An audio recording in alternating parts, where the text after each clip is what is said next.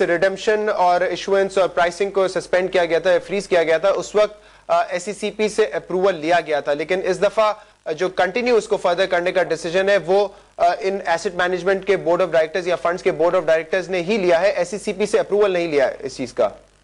इसकी मैं आपको बताऊँ कि जो एक तो आपका एनबीएफसी का ऑर्डिनेंस है उसमें भी कुछ क्लॉजेज हैं। फॉर एग्जांपल कंपनीज़ जो ऑर्डिनेंस है इसका 8.2 एंड 8.3 57.8 एंड 57.9 जो क्लॉज है नॉन बैंकिंग फाइनेंशियल इंस्टीट्यूशंस का एंड देन फिर नोटिफाइज एंटिटीज रेगुलेशन का 23 जो है क्लॉज हम्म। उसके तहत भी सो ऑब्वियसली हर इंडस्ट्री में और फिर इंडिविजुअल हर फंड की ट्रस्ट डीड में भी कुछ एक तरह से ऐसे फोर्स मेजोर नहीं कहेंगे या ऐसे अनयूजुअल सर्कमस्टांसेस की डेफिनेशन है और ये सर्कमस्टांसेस उन डेफिनेशन पर पूरा उतर रहे हैं ठीक है। इसलिए उन्होंने उन्होंने एक यूनिलैटरल डिसीज़न लिया? ठीक है आप आप ये कंप्लीटली समझते हैं कि इस वक्त मार्केट में प्राइस डिस्कवरी नहीं है और इसीलिए इस सस्पेंशन को फ़िलहाल कंटिन्यू किया गया है।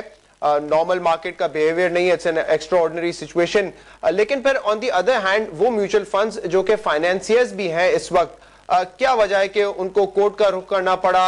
ना तो वो सीएफएस को रोल ओवर करने को तैयार थे uh, ना तो obviously force majeure event declare करके वो उन शेयर्स की ज़िम्मेदारी लेने के लिए तैयार थे जिन पे उन्होंने फाइनेंसिंग की थी। क्या रीजन है इस चीज़ का? उसमें एक सेपरेशन है। अब फॉर फॉर इंस्टेंस मैं आपको मिसाल देता हूँ। अगर नफा इनकम या नफा कैश फंड का सीएफएस एक्सपोजर है और नफा stock fund is directly invested into equities तो पहले तो ये बात की वजाहत कर लें कि वो दोनों बिल्कुल अलग एंटिटीज हैं। एब्सोल्युटली एब्सोल्युटली ऐसा नहीं हो सकता कि एक के पैसे दूसरे पे जाएँ। अदर क्वेश्चन इज़ के एक इनकम फंड जिसकी ट्रस्ट डीड कहती है कि हम इक्विटी नहीं खरीद सकते। अब अगर उसको आगे से इक्विटी फाइनल जो एसेट जिसको फाइनेंस कर रहा है उसकी पोजेशन लेनी पड़ जाए तो पहले तो वो इनकम फंड की किताब पर इक्विटी आ जाएगी। सो so, वो एक एक बड़ा मेजर डिसीज़न है जो लेना पड़ेगा कि जी I am a fund manager और मैंने अपने फंड को एज एस्प्योर इनकम फंड मार्केट किया है और मैंने कहा जी मैं इसमें स्टॉक्स नहीं खरीदूँगा by virtue of being a CFS financer अब मेरे पास स्टॉक्स आ गए हैं तो that totally changes my investment philosophy that's one the second thing is के जो डिफ़ॉल्ट के या फोर्स मेजोर के प्रॉपर प्रोसीजर्स होते हैं जी। उसमें अगर आप सी एफ़ एस फाइनेंसर है और आपने सी एफ़ एस की फाइनेंसिंग की हुई है जी। आगे से जो आ, जो बोरोवर है वो दिवालिया हो जाता है तो पहले तो जो दिवालिया हुए हुए बोरोवर का और इन्वेस्टर का मार्जिन है वो पहले लेंडर को दिया जाए। सही है। स्टेप टू में जो स्टॉक एक्सचेंज का जो मार्केट सपोर्ट फंड वगैरह होता है उसमें से कुछ शॉर्टफॉल मैनेज की जाए। और उसके बाद वो एक्सचेंज उस ना दहिंदा के एसेट्स को टेक ओवर करके उनको पीस बाय पीस सेल करके फिर जी। लेंडर को मुकम्मल तौर पर जुनेद ये तो ये ये जो आप प्रोसेस बता रहे हैं तो तब होगा जब एक नॉर्मल डिफ़ॉल्ट होगा। बट अगर फोर्स मेजोर इवेंट डिक्लेयर्ड है और अगर कोर्ट भी इस हवाले से फैसला दे देता है तो फिर तो जो मार्जिन रखवाया है लेंडर्स ने वो भी उनको वापस मिल जाएगा। और जो पूरे शेयर्स की रिस्पॉन्सिबिलिटी जो है लेनी पड़ेगी फाइनेंसियर्स को?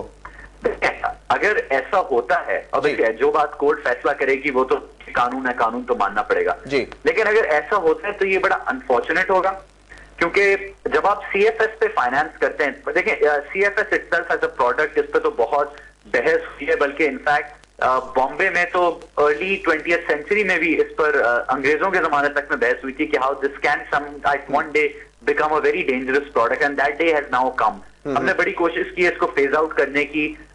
ऊपर से इसका जो ऑल्टरनेटिव चाहिए मार्जिन फाइनेंस वो सही तरह डेवलप नहीं हो सका है। तो that that is an issue but अगर तो ये फैसला इस तरफ़ पे चल पड़ा कि कोर्ट ने फैसला किया कि जी आप अगर फाइनेंसर हैं और आपका जो बोरोवर है वो दिवाली है तो आप आप उसकी जो अंडरलाइंग एक्विटीज हैं उसकी पोजेशन ले लें फिर आप जाने और उस एक्विटीज की प्राइस जाने।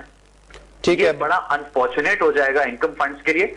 वी हैव टू रियलाइज़ देखें अगर आप मुझे आधा मिनट दे सकें इस पे कि in the long run investors को अच्छे solid long term consistent return देने के लिए म्यूचुअल फंड इंडस्ट्री का कयाम होना उसको फरोग मिलना बहुत ज़रूरी है।